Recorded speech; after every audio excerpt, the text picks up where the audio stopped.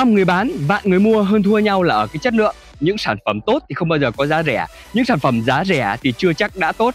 Vừa rẻ mà lại vừa tốt thì không bao giờ có đâu nha mọi người.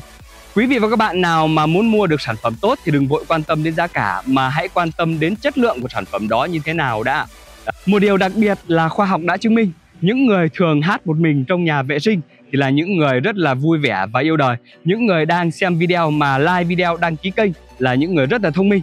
Vì vậy mà quý vị và các bạn đang theo dõi video thì xin hãy like video, hãy đăng ký kênh để ủng hộ cho kênh ô tô 360 chúng tôi và cũng là để đón xem những video mới nhất, những chiếc xe mới nhất chúng tôi đang lên trên kênh ô tô 360 nè. Cảm ơn quý vị và các bạn rất là nhiều.